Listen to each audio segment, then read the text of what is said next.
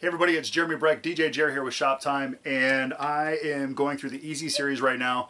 Um, out of all the EZ series, this one right here is probably the most solid. Uh, most of your EZ series with the Bluetooth technology are going to be like a plastic casing, so they're cost effective. They're going to be um, not as good as what your Freedom Pars or your Pro Pars are going to be, uh, but out of all the BT Air stuff, this one right here is probably the most solid. Let me turn it around here for you. So this is the EZLink Strip Q6 BT. So this is the, uh, obviously a linear effect.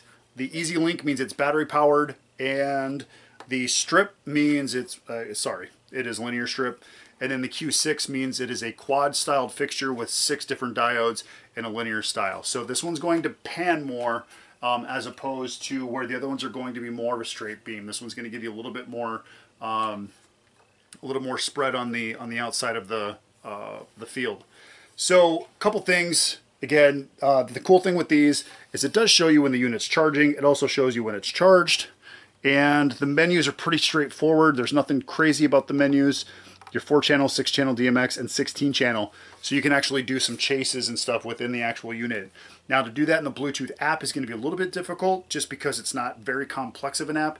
The app is made for people who are looking for something simple, uh, who don't really want to understand the DMX programming side of things, but they want to be able to control their lights and do some cool things. So going into the 16 channel is going to kind of um, really open up a lot of different opportunities on maybe doing some backstage washes and things like that. But what you're going to see is basically all the same color options going through. Um, and this one's going to be a little bit brighter than brighter than some of your pars just because it is pushing a lot more uh, a lot more of that light and it is spreading that light out quite a bit more as well. So you got your built-in programs, you have your your speeds, and then more built-in program. Um, so again, this is a solid unit. This light is going to be much different than what this light's going to be because this one's going to give you a much narrow beam. This one's going to give you a nice spread of light just because they are actually built into a linear style.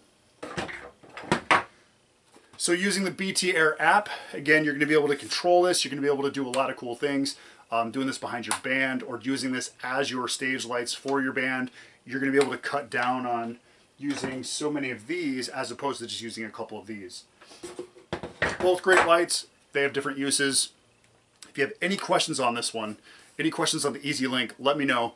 You can reach out to me on the comments down below. I'll get back to you as soon as possible to answer any of those questions for you.